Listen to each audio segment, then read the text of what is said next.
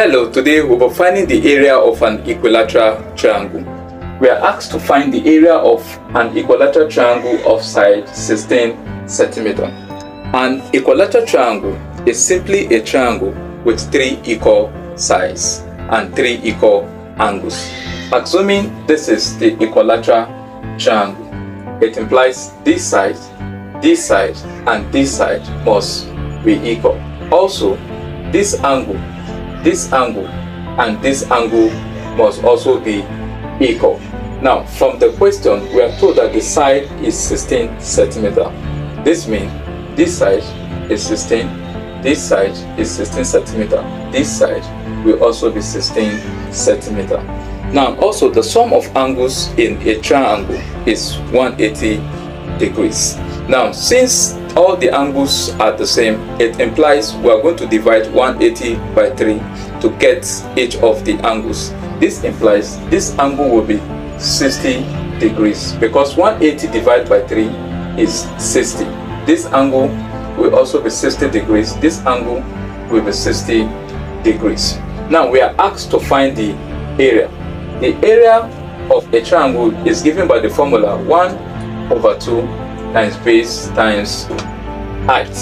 The base of this triangle is 16 centimeter. This is the base, but the height is not given. Let's assume this is the height, h. To find this height, we are going to use this trig ratio, SOHCAHTOA.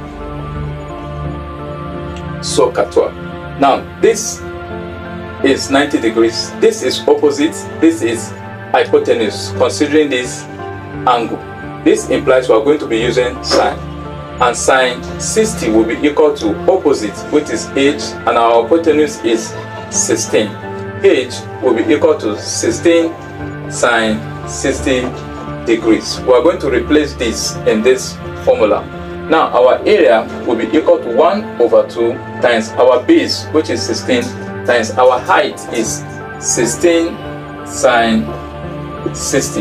And sine 60 is root 3 over 2. So this will become area will be equal to 1 over 2 times 16 times 16 times root 3 over 2.